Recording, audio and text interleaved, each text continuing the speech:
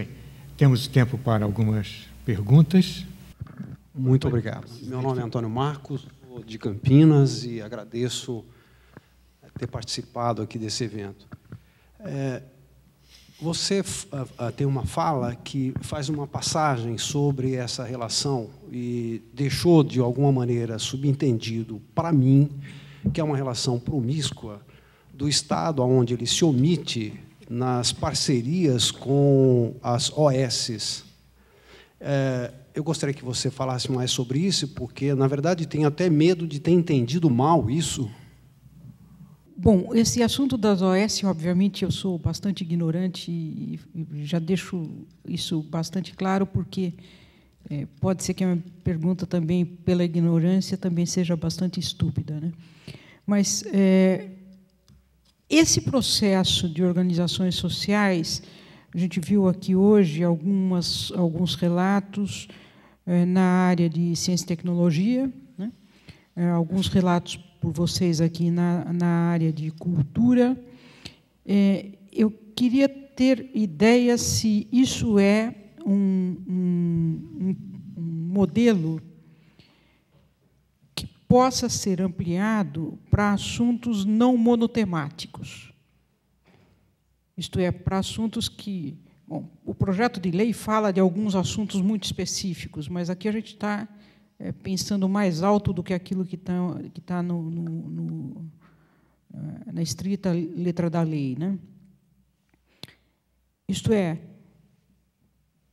a ideia da organização social como um veículo de gestão de vários tipos de assuntos, mais como um veículo de administração de processos do que um veículo de é, administração de cultura ou administração de ciência e tecnologia, é, mais como um mecanismo de tirar a gestão de processos de dentro de um órgão do Estado para entregar melhor coisas para a sociedade. Eu vou fazer uma pergunta também, é, que, é, a seguinte.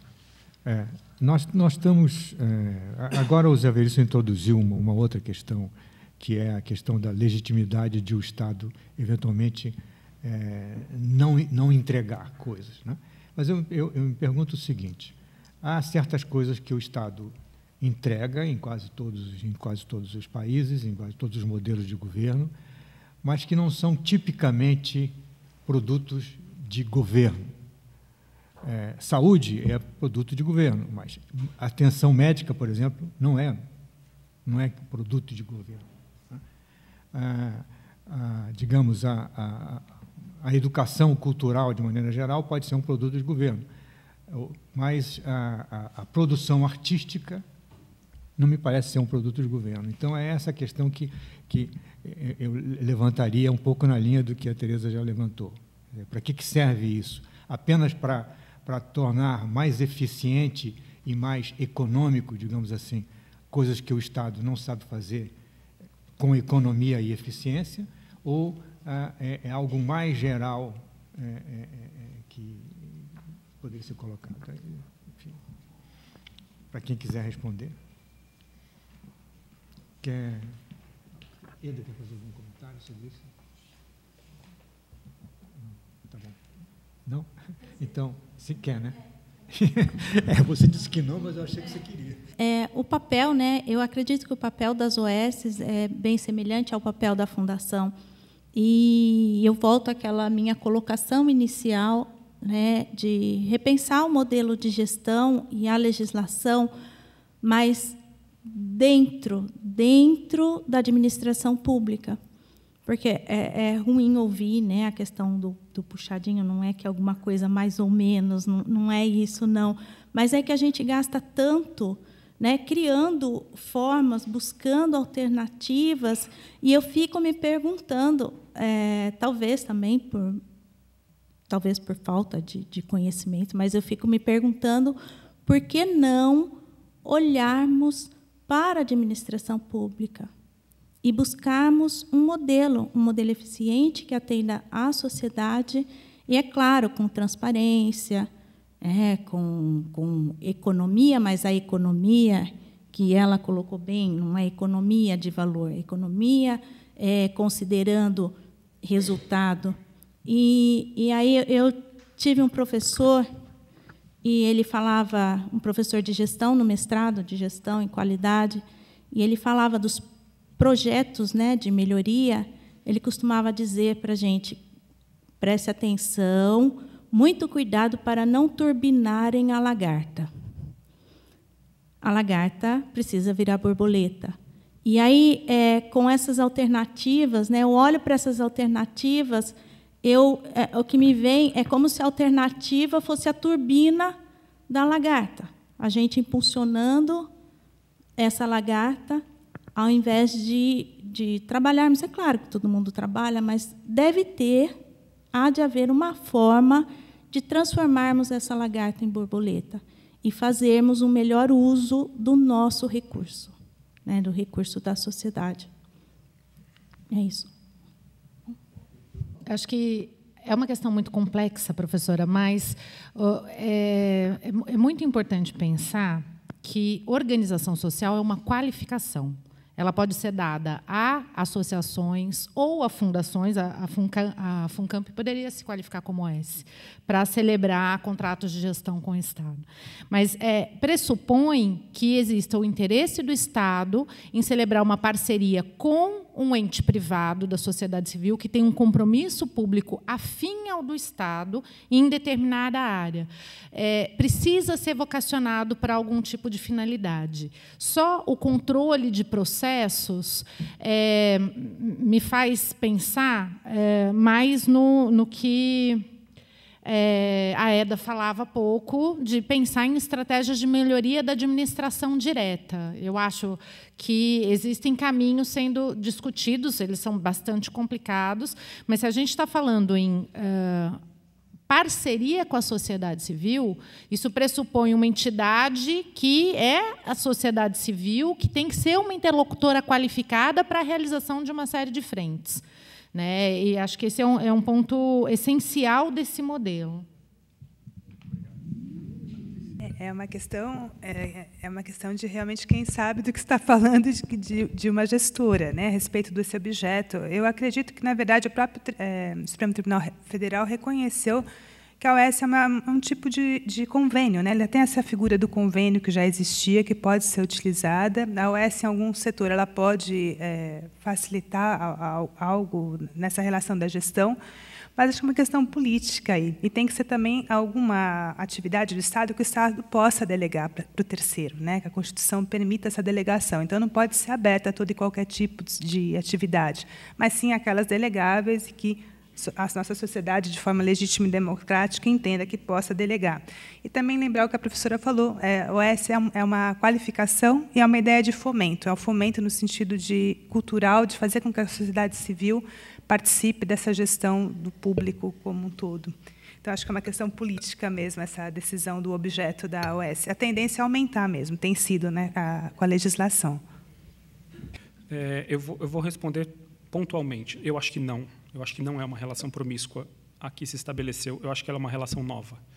Eu acho que ela é um fato, eu acho que ela é um dado.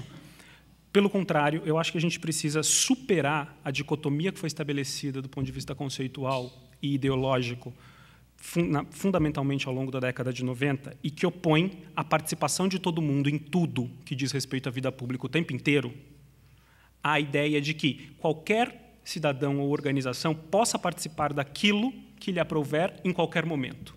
Né? Porque a gente daí acaba com essa dicotomia entre representação e participação direta que em algum momento a gente cindiu, no qual com, com algum, em algum momento a gente cindiu é, a democracia é, é, o, ou pelo menos o discurso político é, sobre a democracia e em relação à, ideia do, do, dos eu, eu acho que a saída para que a gente consiga é, é, fortalecer essas, essas relações é aumentar a transparência e aumentar a participação nesse sentido. Né?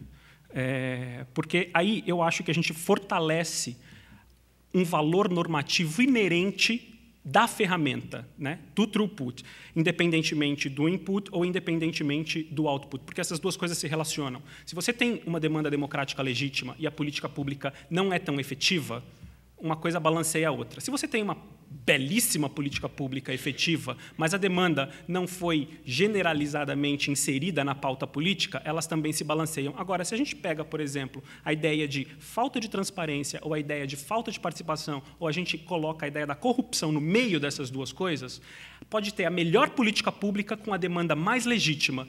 Se a maneira como a gente fez isso for ilegítima, ela destrói definitivamente tanto a legitimidade do processo democrático quanto, a, quanto, a efetividade, quanto nubla a efetividade da política pública. Muito obrigado. Nós, nós temos um minuto. Júlio, você não quer dizer umas palavras finais para encerrar? Quer fazer uma pergunta? É, hoje de manhã a gente viu o Silon falar que o berço da OS foi aqui o síncrotron, a ciência, né? Uhum. E eu vi que, desculpe, eu não sei o seu nome. Você? Patrícia. Patrícia você falou que o Estado de São Paulo não tem OS, né? Então isso me chocou, quer dizer que se a gente, se o síncrono fosse uma, uma unidade do Estado de São Paulo, não poderia existir enquanto OS, né? Por que que não tem OS em ciência e tecnologia? Ah, sim, é. Então, ela estava conversando no almoço hoje, né? Foi uma opção do Estado, do Poder Legislativo do Estado de São Paulo, em não inserir no, no objeto do é, é, é, o legislativo que optou, né, a opção política. Também não, não é, no estado de São Paulo, é, historicamente, foi feito pra, pensando na saúde. Hum. E aí a gente estava conversando, a cultura entrou nesse primeiro momento nesse contexto, né? É uma decisão política e realmente não, não faz, é, não saberia dizer o porquê politicamente a, a União to, fez um modelo e São Paulo modificou. Você saberia é. o porquê excluiu? É difícil, né? É, eu, o né? que eu acho que eu posso dizer de mais produtivo nesse debate gravado é que é, houve uma alteração na Lei 846 no ano de 2014, inserindo várias áreas como meio ambiente, desenvolvimento, criança, criança pessoa com deficiência. É. E há um lobby, um, uma movimentação hoje, é, até por conta de experiências de outros estados, como Goiás, que estuda adotar o modelo OS para gestão da educação básica, né, de que se insira a educação na lei estadual. Existe uma discussão. Portanto, poderia-se buscar, inserir, retomar a pauta da ciência e tecnologia, que eu acho que é extremamente pertinente e é bem possível que encontre eco em alguns setores importantes do governo. É, só uh, aproveitando, acho que, é, só para não ficar no campo das possibilidades, uma agenda bem concreta que poderia envolver essa melhoria é, das relações, tanto para a administração direta, é, no caso da universidade, quanto para as organizações sociais e mesmo as entidades que não são qualificadas assim, envolvem discussões com impostos como o ITCMD, é, que estabelece as regras para as doações e heranças. Né? A gente tem uma tributação e um, um, sistema que é muito falho, existe um grupo de trabalho no governo estudando isso, é, assim como é, a necessidade de pensar a desoneração de importações, a nacionalização de obras de arte. Então, eu acho que criação de uma agenda que pudesse prever é, mecanismos de flexibilização e melhoria nesses pontos, né, é, resolveria uma série de problemas e seria benéfico para todos os entes públicos e privados que querem o desenvolvimento do país. Tá bom. Então, eu quero agradecer aos expositores, a paciência da, da audiência, ao pessoal lá da filmagem que está aqui até agora, ao pessoal suporte do Pensa, aqui o Guilherme, que é o nosso jornalista, o pessoal da secretaria que está lá. Eu acho que a gente fez um belo fórum, acho que a discussão foi bastante rica. Então, agradeço muito a todos. Muito obrigado.